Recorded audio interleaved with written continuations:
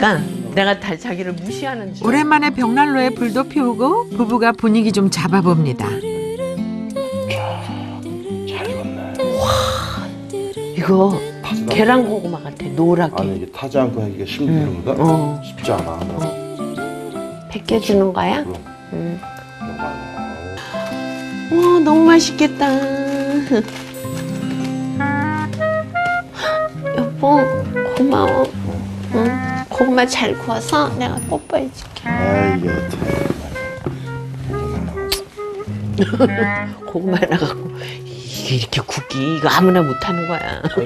오늘 밤이 함께 보내는 마지막 밤입니다. 타이밍 딱 맞았어. 일주일에 며칠 정도 이렇게 같이 계세요? 한 3일 4일 이렇게 해요. 떨어져 지낼 때 이렇게 만나는 게 좋으세요? 다른 분. 어 그러면 새로운 기분이고 좋아요. 이렇게 어 여자들은 다들 부러워해요. 근데 남자들은 남자분들은 그래. 그게 뭐야? 부부가 같이 살아야지 막 이래요. 떨어져서 각자 독립된 생활을 오래 했잖아 우리는. 그래서 우리도 난 일반 부부들처럼 그렇게 살아보려고 시도를 초창기를 했는데 너무 힘든 거야 이게. 그러니까 그걸 뜯어 고쳐서 맞추면 사는데 그럴 필요가 뭐 있어요.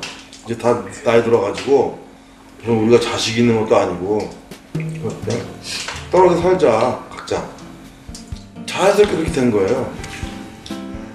3일은 부부로 4일은 화려한 싱글로 사는 파격적인 결혼 생활. 황혼에 꼽힌 사랑이었기에 가능했던 일일까요?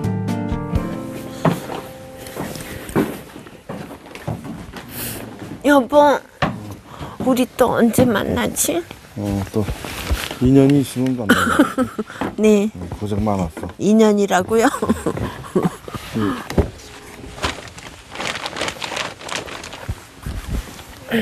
아이고 고생 많았어. 아이 좋다. 두둥한 배가 좋다.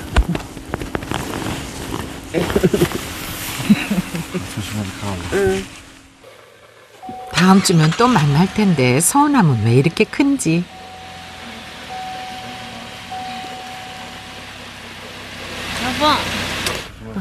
응, 어, 응. 다음 주에 봐, 여보. 응. 어디 가든 꽂혀. And I always love you. 갈게요, 여보. 응. 아, 갔네. 이 손을 날아가지.